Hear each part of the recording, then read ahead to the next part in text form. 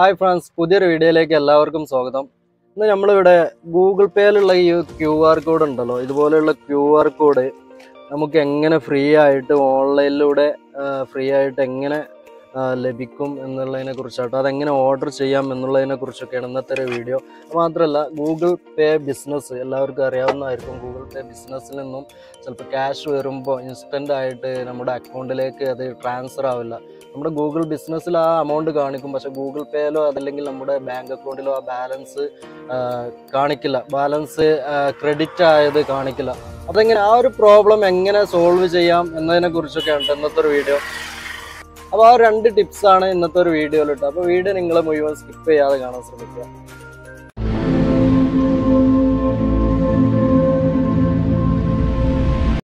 Download ചെയ്യുക play സ്റ്റോറിലും Google പേ business available ആണ്. അതേപോലെ ആപ്പ് സ്റ്റോറിലൊക്കെ ഈ ഒരു ആപ്പ് അവൈലബിൾ ആണ്.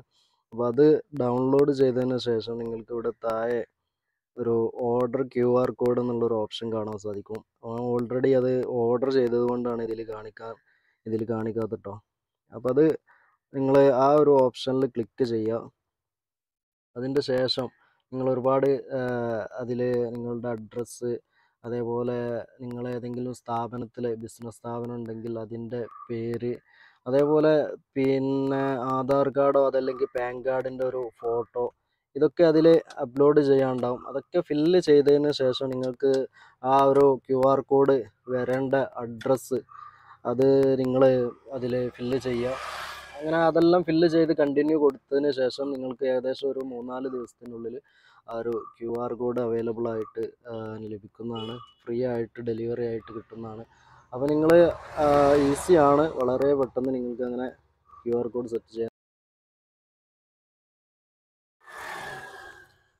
രണ്ടാമത്തെ ടിപ്സ് എന്താണെന്ന് വെച്ചാൽ നമ്മളെ ഗൂഗിൾ പേ ബിസിനസ് അതിൽ വരുന്ന ക്യാഷ് ഒന്നും നമ്മുടെ ഗൂഗിൾ പേക്കോ അതല്ലെങ്കിൽ നമ്മുടെ അക്കൗണ്ടിലേക്ക് ക്രെഡിറ്റ് ആവുന്നില്ല.